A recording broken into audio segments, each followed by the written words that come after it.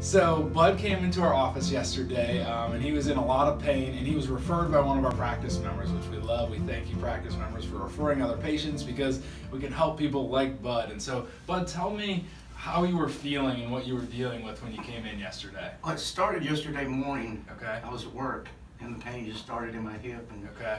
gradually started radiating down the back of my left leg. Mm. And by the time I got here, I could barely walk. Yeah.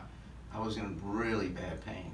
Yeah, I could tell by the way you were walking in here and Yeah. stooped over and Yeah. doing that. What, up from zero to ten, how painful would you say that was? I'd was? say it was at least a seven and a half. Wow.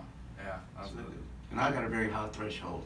threshold for So, pain. um, and then I woke up this morning, and I was pain free. Pain free, Yeah. all right, after your adjustment, huh? And, Right. and and so after I adjusted you, obviously, was our adjustment was it painful at all? No, no, no, I didn't feel a thing. Okay, really gentle. Very. And and then uh, what did you say to me as soon as you sat up after that adjustment? Uh, You remember? no, what was that? Yeah, you, you had said, "Wow, it's already I'm already it's already better." Yeah, yeah, already exactly. having less pain.